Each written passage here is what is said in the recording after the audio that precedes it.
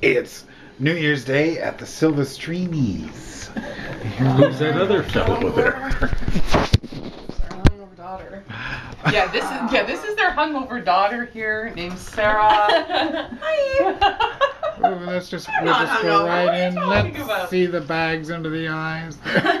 There is no bags under the eyes. oh yeah, there is. There, there was Lots of earlier. makeup on it. well, well concealed anyway. Yeah, yeah. Well, this is just, it's lived in, that's good. Mmm. What a nice little uh, table there. You gonna have some, Fern?